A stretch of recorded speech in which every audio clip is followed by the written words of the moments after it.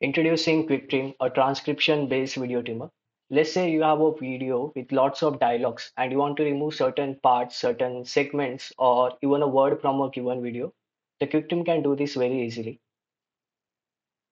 Start by uploading your media file. Once the media file is uploaded, the application will generate a transcription.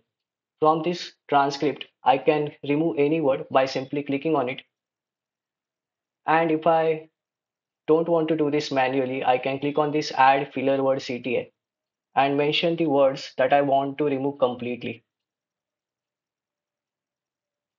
You can see this particular filler words are removed from the entire transcript in a one go. If you want to remove entire sentence, not just a word, you can switch to the sentence tab. And here you can get the transcription in a segmented format. You can click on this CTA to remove the entire segment. And once all this is done, you can hit the done CTA and QuickTrim will start the actual trimming and export operation. And once this operation is completed, the video will be saved in your application directory.